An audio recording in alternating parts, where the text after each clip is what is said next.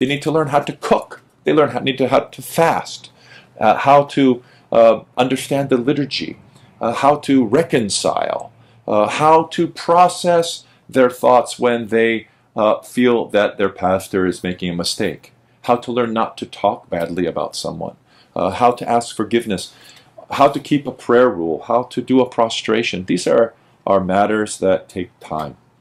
So we should avoid the stumbling block of short catechism. We should avoid the stumbling block of thinking that conversion is a matter of the head